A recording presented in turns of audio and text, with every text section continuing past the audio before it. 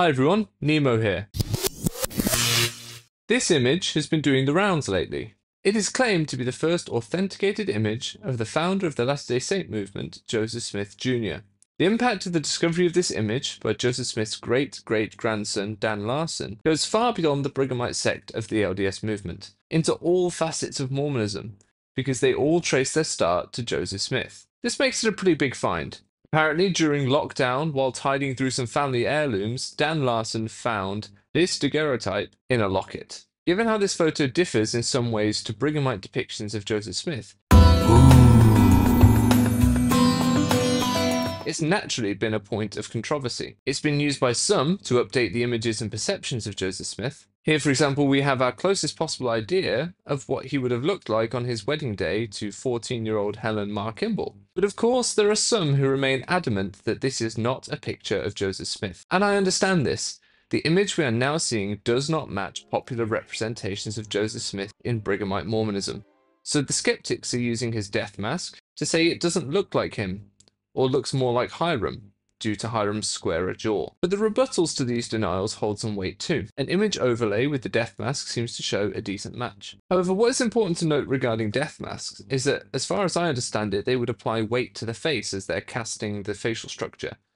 And if this face has no muscle tone, because the person is dead, I can imagine this weight plus gravity acting on a deceased supine person's face will not always render it the most accurate impression beyond their bone structure. Any experts feel free to correct me on that in the comments. Those who say this daguerreotype is Joseph Smith point to similarities between portraits and the daguerreotype itself, such as the presence of a crease on the face of both men. And two years of research and highly sophisticated facial recognition software can't exactly be ignored. The Deseret News explains some of the authentication process. McKay said they use methods such as facial recognition software to compare the daguerreotype with Smith's 1842 oil portrait, attributed to artist David Rogers, and with his death mask. They use methods like photographic overlays and cutaways, as well as extensive historical research. Jana Riess writes that they hired facial recognition experts to compare the daguerreotype to Smith's death mask the company reported back that 19 of 21 measured features matched within a 95% confidence interval. And what has the Brighamite sect of Mormonism based in Utah been saying about all of this? We concur that the daguerreotype and locket were created of the materials and methods appropriate to the 1840s. However, as nothing is definitively known about the locket's history before 1992, we cannot draw a conclusion about who is pictured in the daguerreotype, we welcome the recent publication of the image and hope it will prompt the discovery of additional information helpful to determining its authenticity. The church's reaction here has led one Redditor to create this. Revelation in the 1800s, he was a white Lamanite named Zelph.